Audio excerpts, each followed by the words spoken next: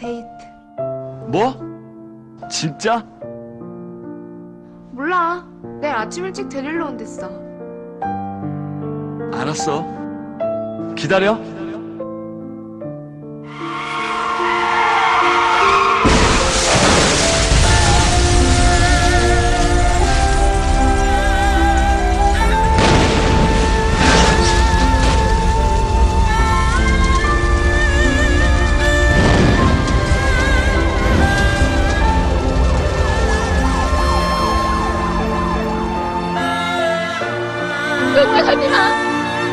가지마, 명우야. 안 돼, 명우야. 바람이라도 좋아. 바람이라도 좋아.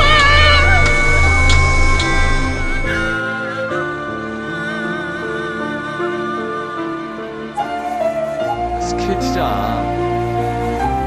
여긴 촌스러운 애들 놀아주느라고 오빠 고생 좀 한다. 이런 식으로 드나드실 거면 다른 데 가서 하시죠.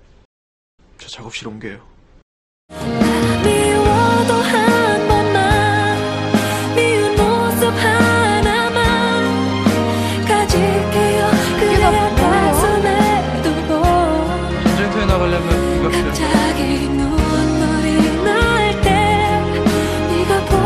그래서 일찍 미울 잠이 올지 때 모르겠지만. 미워도 한 번만 어느 나라 복도 나온대?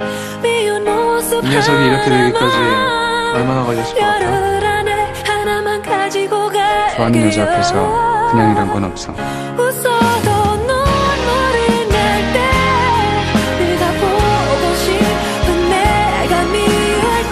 일어나! 와, 진정해. 내가 지금 진정하게 생겼어? 저 새끼 하는 소리 들어봐!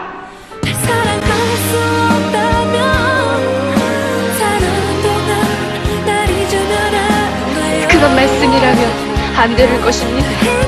저는 안. 있다고 제발, 너무 쉽게 제발 이러지 마세요.